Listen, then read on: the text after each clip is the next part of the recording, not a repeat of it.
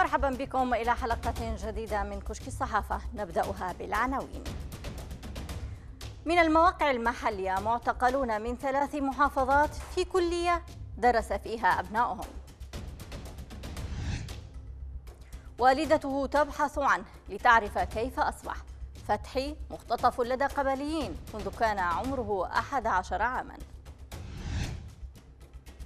ومن أخبارنا المنوعة عام ونصف. سجن لفتاة حاولت طعن رجل أطال النظر حولها.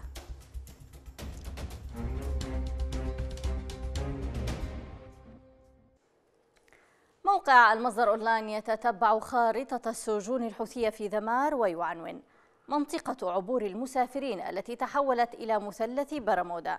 يرصد المصدر أونلاين في تقريره الخاص عددا من السجون العامة والسرية في ذمار.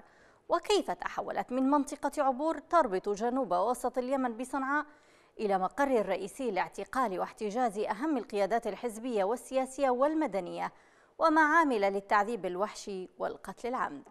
ويورد الموقع نموذجا لواحد من السجون المستحدثة حيث لم تعد مظاهر العلم والنظام حاضرة في كلية المجتمع. فالناظر إليها يشاهد مباني واقفة كأطلال خالية من كل شيء إلا الرعب والخوف والوحشة التي باتت واضحة حتى على جدرانها. وفي الليل تتغير الأوضاع ويسمع صراخ وعويل من داخل الكلية كما تنشط أطقم الميليشيات ذهابا وإيابا من وإلى الكلية تنقل, المخطوفين والمخفيين قسرا تحت جنح الظلام. وخصصت الميليشيا كلية المجتمع للمخطوفين والمخفيين قسرا من أبناء تعز وإب والمحافظات الجنوبية إضافة إلى مخطوفين من أبناء ذمار. ومن لم يتعذبوا في الكلية يمكنهم الحصول على قسط أوسع من العذاب في ملعب رياضي وفقا للموقع. فإن الملعب الوحيد في مدينة ذمار تحول إلى مركز مركز العمليات الحربية للميليشيا الحوثية ومقر الإمداد البشري والعسكري للجبهات. بينما المخازن الأرضية والغرف الواقعة تحت مدرجات الملعب تكتظ بالمئات من المخطوفين والمخفيين. منذ أشهر وعبد الرحم عبد الكريم عبد الرحمن الإرياني الموظف في وزارة الزراعة ملقي في معتقلات الحوثيين من دون ذنب. ابنته أبرار مع أسرتها ذهبت لزيارته وكتبت عن لحظات الهوان وقلة الحيلة وأضافت في مقال تنشره بالقيس لم أتمكن من رؤية والدي. يؤلمني جدا أن أراه بين كل أولئك المساجين. تحول بيننا الشباك الحديدية والمسافة. دفعني الأمر إلى الانسحاب إلى إحدى الممرات الخارجية القريبة حيث كنت أسمع أصوات الجميع هناك. صوت والدي يهتف لوالدتي. لا تقلقوا أنا تمام. والله سيفرجها. أمي ترد عليه. الله كريم. الله كريم هانت. ومنار تبلغ أبي. فلان يسلم عليك وفلانة تدعي لك. وأم فلان قالت الصبر. ونبراس تصغي فقط. وحين تفر دموعها من عينيها تفر هي إلى الممر ذاته الذي فررت إليه من دموعي وشعوري بالعجز والهوان. في اللحظات الأخيرة من الزيارة دعينا إلى المربع. تلك المساحة الصغيرة التي تتمكن فيها من عناق والدك واستعادة طاقتك. يعانق أبي أمي ويسألها الصبر ودموعه في عينيه وتسأله والدتي التماسك ودموعها في عينيها. يعانقني والدي أيضا وأشعر أنها المرة الأولى التي يعانقني بها. قائلا لي تواصلي مع عمو معا. استفيدي منه إيش الكتب اللي ممكن تفيدك في تخصصك؟ تجلدي ذاكري. أنا راجع راجع يا ابنتي. فاضت بي دموعي وقتها. لما لا يستطيع والدي التوقف عن كونه أبا جيدا حتى في وضع موجع وصعب كهذا. لكن الأمر الذي أبهجني وأبهج من في المربع جميعا هي تلك الربطة التي كانت على يد والدي والتي كتب عليها اسم والدتي عبير. فاجأنا بابا بخلعها من يده وربطها في يد والدتي أمام الجميع هناك. هامسا لنا. حقق الزيارة الجاية. لربما حديثي عنك قد يراه الآخرون مجرد حديث فتاة فخورة بوالدها. لكن موقف اليوم واللحظة التي رأيت فيها تلك الربطة على يد والدي واللحظة التي ألبسها لماما كذلك. برهان وإثبات للعالم بأسره. أن والدي مجرد إنسان محب يلوذ الآخرون للطفه وحنانه. فأخرج أبي عالم. أعيدوه لنا. تعبنا. والله تعبنا. حصلت أسماء على تقدير جيد في الثانوية العامة ولأن والدها فرح بتلك النتيجة فقد كافأها برحلة إلى ماليزيا لزيارة أخيها الذي يدرس هناك. ومنذ تلك الرحلة تغيرت حياة الفتاة اليمنية وفقا لموقع نيوز يمن. أصغر سيدة أعمال يمنية في ماليزيا أسماء مهيوب لنيوز يمن. أنتن من يصنع مستقبلكن وليس الآخرون. وقال الموقع منذ أيامها الأولى في كوالالمبور بدأت أسماء مهيوب مسيرتها العملية بفتح حضانة منزلية مصغرة للأطفال حتى تطور الأمر لديها إلى فتح فصول أكثر. لكن المشروع تعثر ولم تتوقف الفتاة عن تحقيق أحلامها. طرقت أسماء أبوابا كثيرة فعملت في معهد للغة ثم عملت كسكرتيرة في إحدى المدارس العربية بماليزيا ومنها كان الخروج إلى فضاء أوسع. ففكرت بإنشاء مدرسة خاصة. تقول أسماء كان التفكير يراودني, يراودني دائما أن أفتح مدرسة في ماليزيا خاصة في ظل وجود الكثير من النازحين من دول الشرق الأوسط بينها اليمن.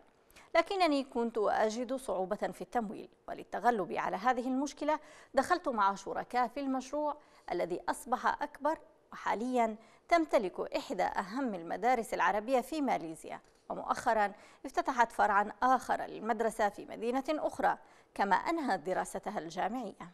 وعن المرأة اليمنية قالت أسماء للأسف علمونا في اليمن أن المرأة بدون رجل لا تساوي شيئا وهذا منطق غير صحيح.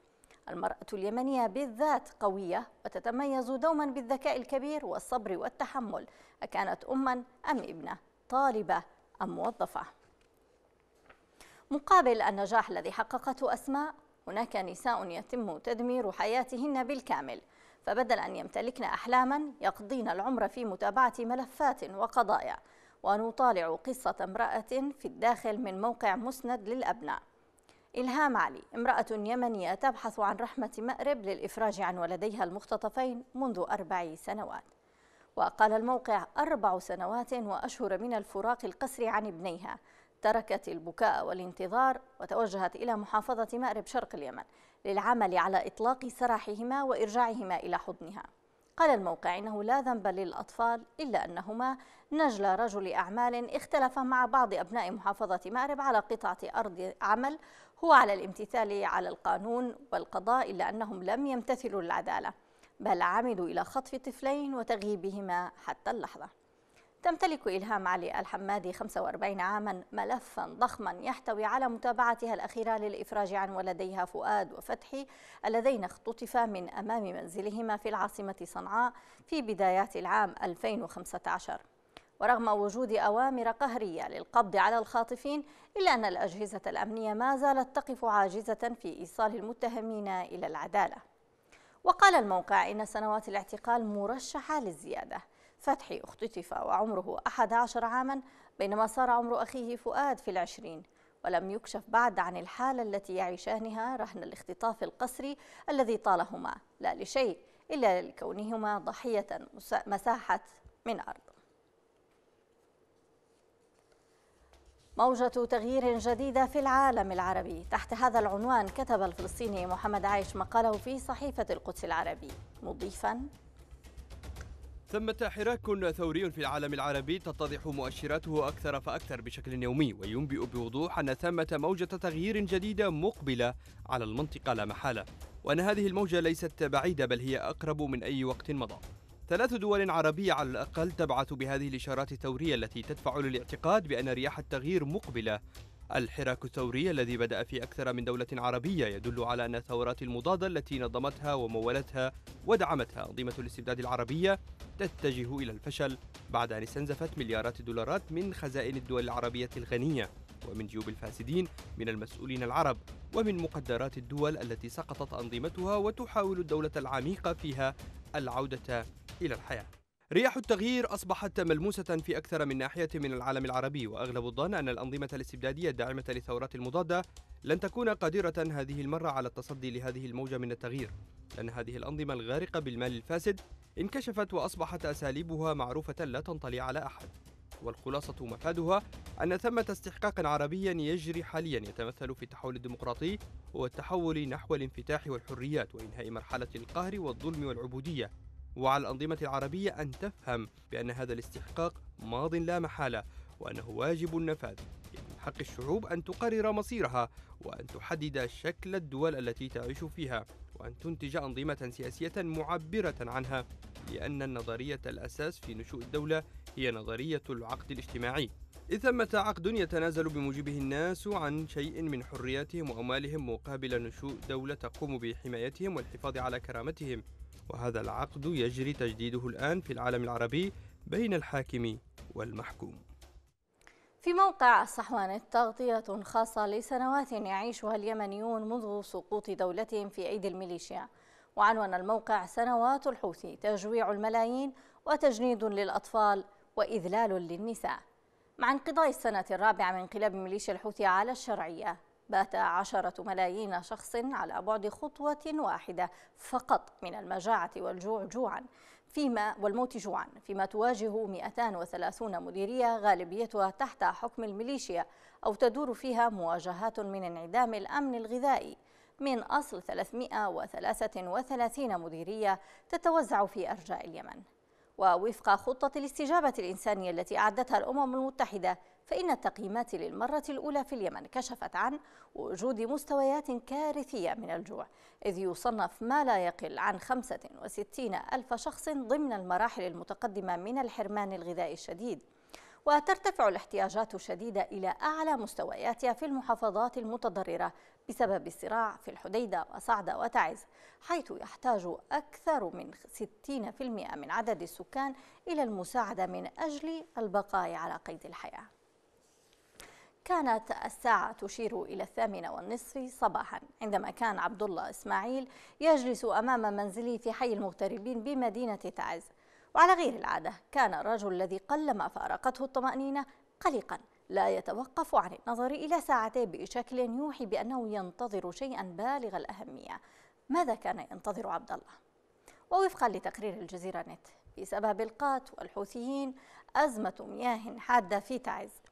يعود الموقع للحديث عن عبد الله لليوم الخامس على التوالي. كان الرجل ينتظر صهريج المياه التجارية لتغذية خزان منزله الذي نفذ قبل أسبوع تقريبا حيث أصبح يعتمد على المياه المعالجة بأسعار باهظة للاستخدام المنزلي.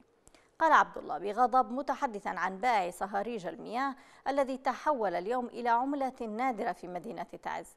تصور أن الرجل لم يعد يرد على اتصالاته المتوالية وقد كان في السابق يهرع إلينا بمجرد رسالة قصيرة.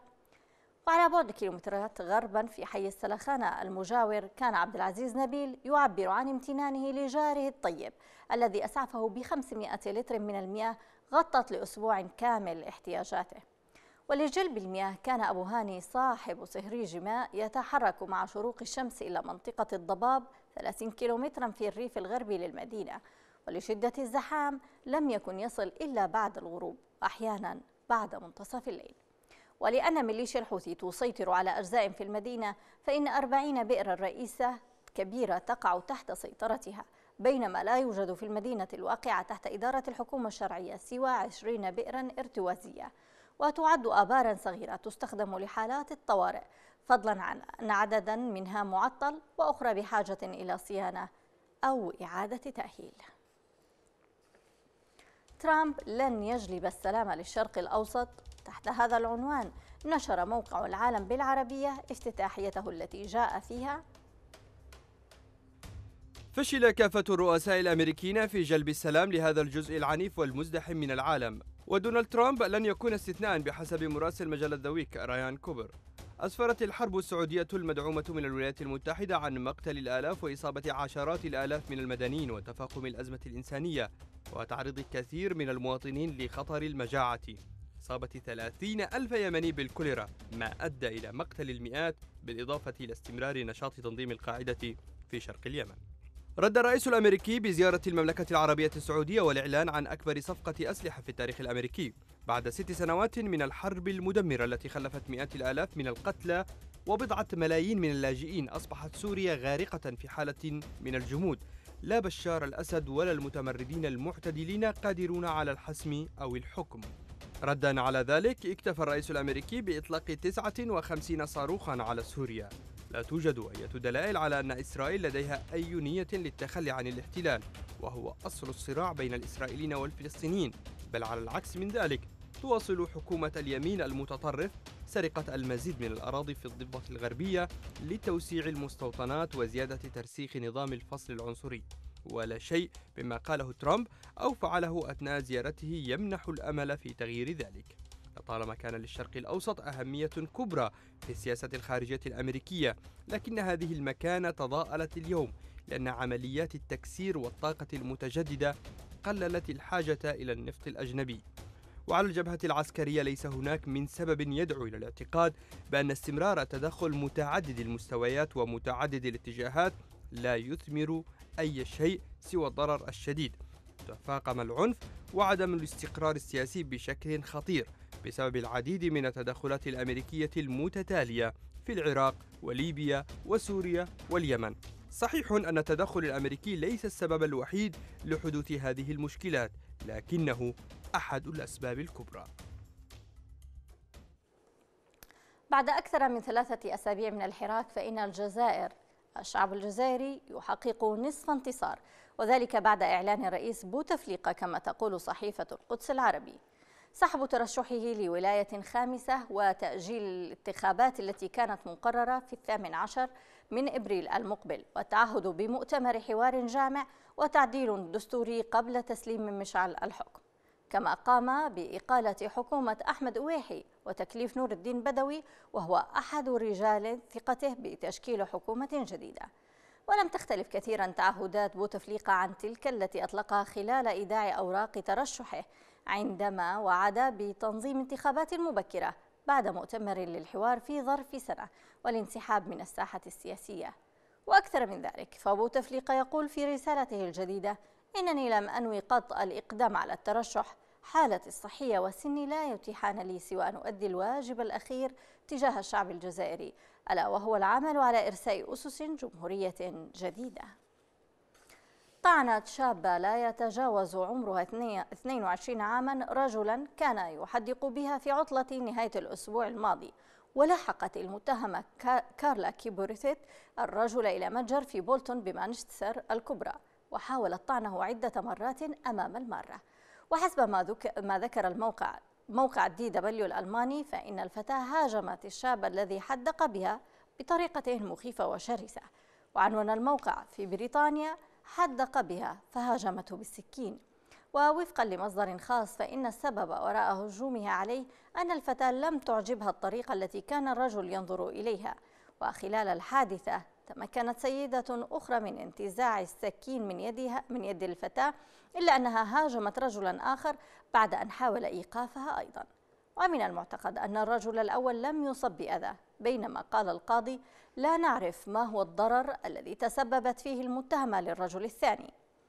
وقد ألقت الشرطة القبض على الفتاة في منزل والدتها وتم سجنها لمدة ستة عشر شهر وأكدت أن نظرات الشخص الأول كانت مقلقة.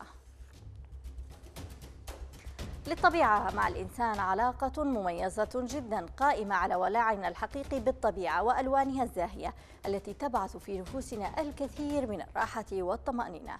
جولتنا المصورة من صحيفة أديلي تكليغراف فلنتابع.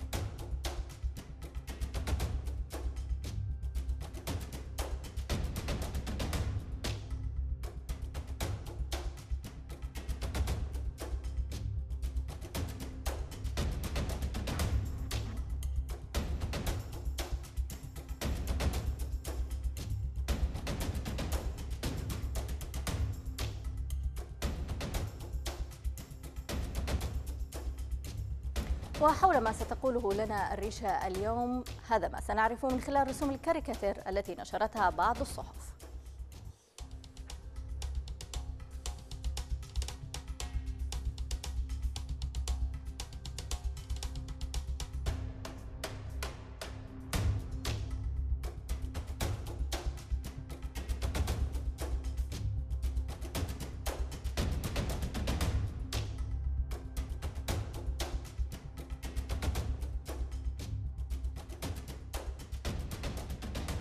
بهذه المجموعة من الصور ورسوم الكاريكاتور نتوقف وإياكم في هذه الحلقة. كونوا بأمان الله في حلقة قادمة.